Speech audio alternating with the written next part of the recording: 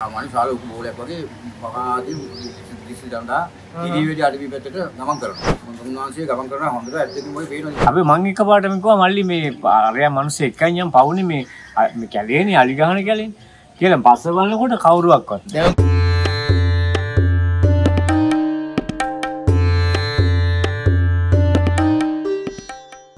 අපේ වාසනාවන්ත පින්නතුනේ මේ දෑතින් මා බොහෝ පින්කම් සිදු කළා.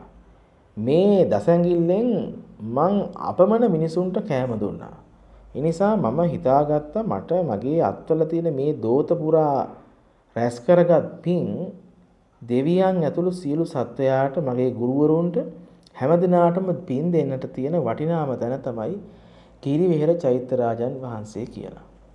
ඉතින් උන්වහන්සේ සමීපයට යනකොට අහඹුවෙන් මට මුණ ගැහුණා දෙවියන් දුටු දෙන්නෙක්. හැබැයි මේ දෙන්නම මගියෝ නැතහොත් ඔවුන් විටක දුගියෝ. පුදුමේ නම් පොහොසතුන් කිසිවෙක් දෙවියන් නොදැකීමයි. එක්කෙනෙක් වැසිකිලි පිරි- වැසිකිලි පිරිසිදු කරන්නෙක්. අනිත් කෙනා කැඳ විකුණන්නෙක්. මට හිතුණා දෙවියන් දකින්නේ දුප්පතුන්ම පමණක් දෝ කියලා.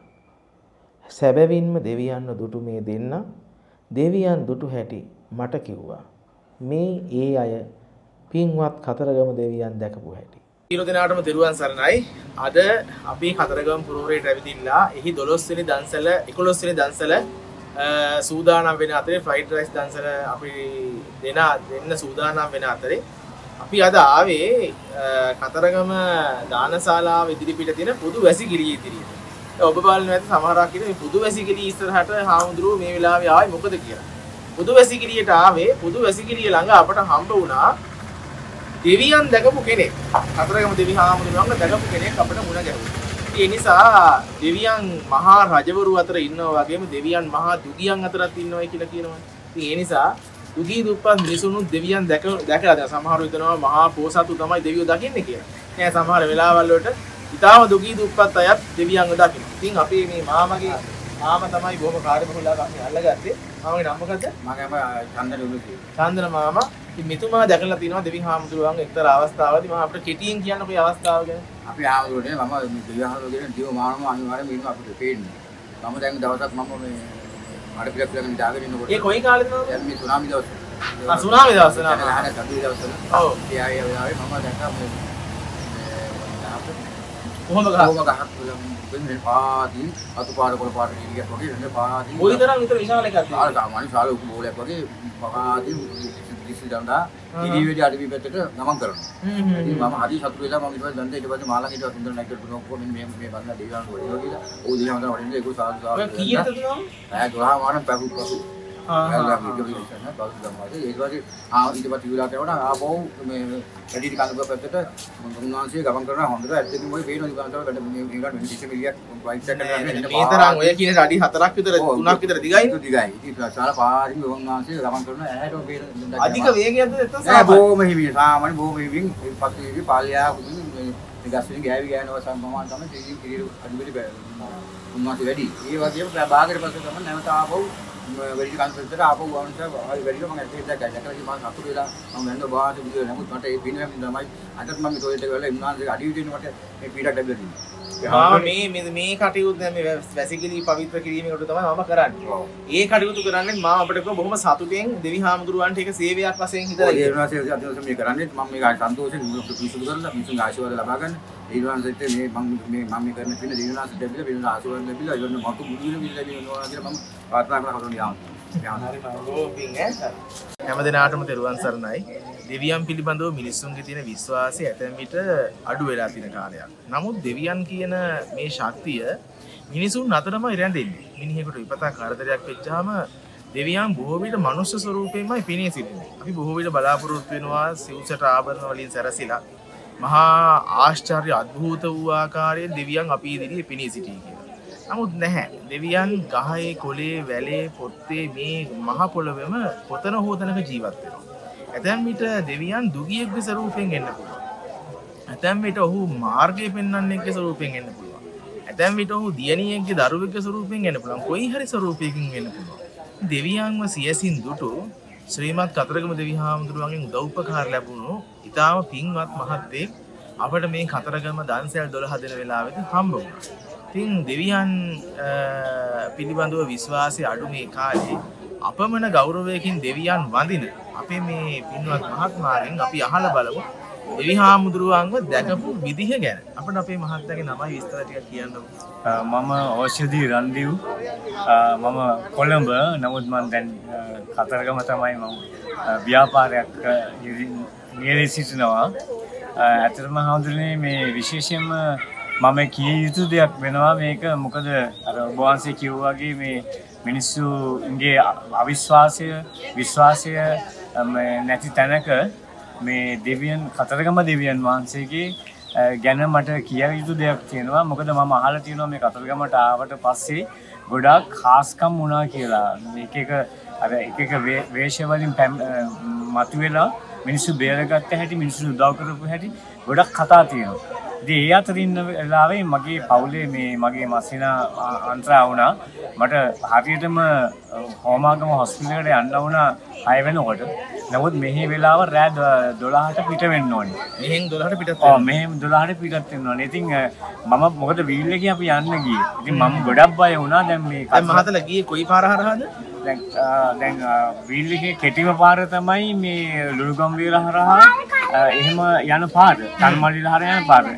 එතකොට නමුත් ඒ පාර විතරයි යන්න තියෙන්නේ වෙලාවේ හැටියට. අතෙන්ද වෙලාවට යන්න ඕන නම් නමුත් මම ගොඩාක් බය වුණා මේ අ, අලි ඉන්නවා ඒ කැලේ. ඒ කියන්නේ අ, කිලෝමීටර් 6ක් විතර ප්‍රමාණයක ඇතුළත කැලේ ඒකේ අලි ඉන්නවා අලි අ, ර- රංචු පිටින් එනවා පාරට රස්නේ සපින්න.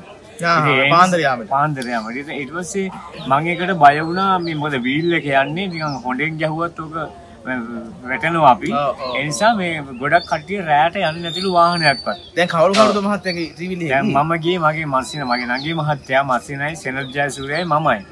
ඉතින් මං කිව්වා මට මල්ලි යන්න බෑ මේකට මට බයයි. පදවන් ගියේ කවුද හදවන්ගේ මල්ලි මල්සිනා. ආ. ඉතින් එයා මං කිව්වා මට මේකට යන්න බෑ කියලා. මේ බයයි නිසා. අලි නිසා කියලා.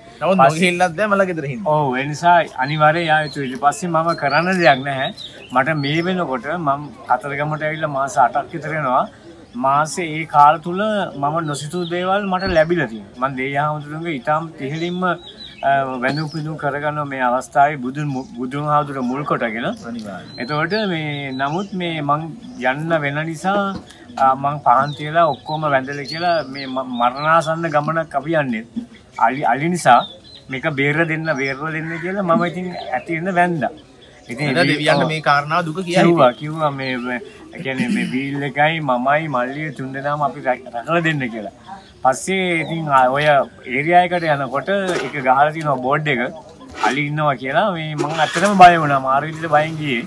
ඊට පස්සේ මේ කිලෝමීටර් 3ක් වගේ ප්‍රමාණයකට යනකොට ඒ ගො- පාර ගොඩක් පළල් මේ අලුත් පාරක් මේ කිලෝමීටර යනකොට මේ ආ, එක මිනිහෙක් සුදු ෂර්ට් එකක් ඇඳලා සුදු සරමක් ඇඳලා පම්ප ඇතුලක් අතේ තිබුණා මේ පැත්තෙන් කළු බෑග් එකක් තිබුණා. පාරේ එහා පැත්තෙන් යනවා මේ අපි යන පැත්තට. ඔයාලා පිටිපස්සෙන් යනවා එයාත් ඉස්සරහින් යනවා පේනවා ඔය ඉස්සර ඉස්සර පේනවා. පස්සේ මං මල්ලිට කිව්වා මල්ලි නවත්තන්න වීල් එක මේ මිනිස්සෙක් යනවා මේ කැලේ මේ වාහනත් යන්නේ නැති කැලේ මේ මෙයා දාගෙන යමුයි කියලා. ඉතින් අ, අපි නැවතුවා. නැවතුලා කෑ ගැහුවා කෑ ගැහුවා එයා අර පැත්ත බලාගෙන යනවා. ඊට පස්සේ ආවා මේ පැත්තට. පාරෙන් මෙහාට ඇවිල්ලා අපිත් එක්ක කතා කරේ. ඊට පස්සේ අපි හිතුවා මම හිතුවා මේ කතා නැහැ නෑ නෑ.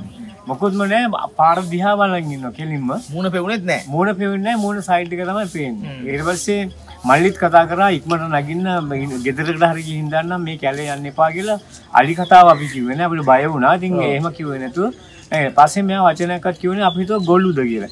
ඊට ඉස්සෙල්ලාදී පෝය.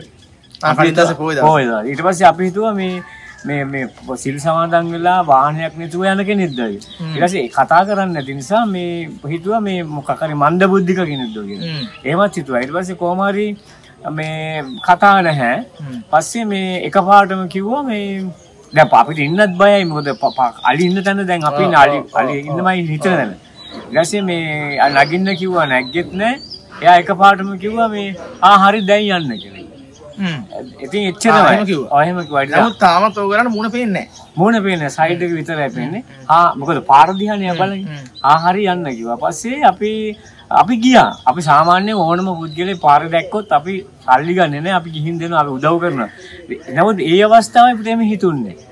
අපිත් ගියා. අපි මං එකපාරටම කිව්වා මල්ලි මේ අරයා මිනිස්සු එකයි යම් පවුනේ මේ කැලේනේ අලි ගහන කැලේනේ. කියලා පස්ස බලනකොට කවුරුවක්වත් දැන් ඔය- සිද්ධි වෙලා කොච්චරක් ඉස්සරහට ගියාද? මේ අඩි අඩි 10ක්? ඔව් 20ක් වගේ ගියා. අඩි 20ක් විතර. ගිල ඒ ළඟමනේ ඉතින් මෙහෙම හදලා බලනකොට කතා කරන්න එනකොට එය මනුස්සය නැහැ. ඉතින් එකපාරටම මට මතක් වුණා මේ හාස්කම්ද කියන එක. ඊට පස්සේ අපි ආවෙන්න මේ නමුත් අනිවාර්යයෙන්ම කතරගම දෙහි හාමුදුරුවෝ මැවීමක් කරා. ඒතර ඔයා දැක්කා. ඔව් ඊට පස්සේ දැන් අඩි 50ක් වගේ යනවා. මොකද කලින් කතාව කිව්වනේ ඔව්. මම ඒකනේ කිව්වේ මේක අපිට ඔව්. මිනිස්සුන්ට කියමු. ඔව් ඊට පස්සේ අර මේ පස්ස බැලුවම පස්සේ අපි ඉස්සරහට යනකොට අලි බෙටි තිබුණ පාර පුරාම මොකද එතන අලි රංචුවක් මාරු වෙලා තියෙනවා. අන්න එතනින් අපි පුදුම බයක් වුණා. පස්සේ අපි වේගෙන්ම ගියා. මේ අපි හිතුවා අපි දැනට විශ්වාස කරනවා මම මේ දැනුත් මේ උදේ වැඳලා ආවේ. ඒ ගැන හැමදාම මම ඇවිල්ලා කියනවා. මේ ඔබ වහන්සේ මේ අපේ ජීවිතේ දා බේරපු හැටි මේ කියලා ඊට පස්සේ අපි අනිවාර්යෙන්ම විශ්වාස කරනවා කවුරු මොකද මේ පාරේ යන්නේ නැහැ වාහනයක්වත් යන්නේ නැති එකේ මිනිහෙක් මොකද පයින් යන්නේ යන්නේ නේ. අඩි 10 අඩි 20ක් ඉස්සරහට ගිහිල්ලා ආපහු බලනකොට මේ මිනිස්සු යන්න දනකුත් නැහැ. යන තැනකුත් නැහැ යන්නේ නැහැ ඊට පස්සේ. එයාගේ මූණ දැක්කෙත් නැහැ. මූණ දැක්කෙත් නැහැ වාසනාවන්ත පින්නතුනි දෙදස් විසි හතර ජනවාරි මාසෙ දහවෙනිද සිට දාහත් වෙනිද දක්වා මේ පිරිත් කරන්නට යෙදෙන මහා වටිනා බල සම්පන්න තෙල තමයි මහා සිද්ධාර්ථ දසපාක තෛලය. මහා සිද්ධාර්ථ දසපාක තෛලය කියලා කියන්නේ ඉතාමත්ම බල ඇති මහා තේජානුභාව සම්පන්න තෙලක්. අපේ පැරණි වියතුන් අතර මතයක් තියෙනවා මේ සිද්ධාර්ථ දසපාක තෛලය දසදිසා පිරිතින් 16000 වාරයක් ජීවාන් කළොත් වෙඩි තිබ්බත් වෙඩි වදින්නේ නැහැ කියලා. ඒ තරම් සිද්ධාර්ථ දසපාක තෛලය දසදිසා පිරිතෙන් ජීවාන් කරපුවාම අපමණ බලයක් එයින් පිහිටනවා. මේ මහා තෙල මම සිද්ධාර්ථ දසපාක තෛලය සබ්බපාපසකරණං ගාථාවෙන් පංලක්ෂ වාරයකුත් ඊට අමතරව දසදිසා පිරිතෙන් 16000ක් නොවේ ලක්ෂ වාරයක් හරියටම බල පිහිටපු තෙලක්.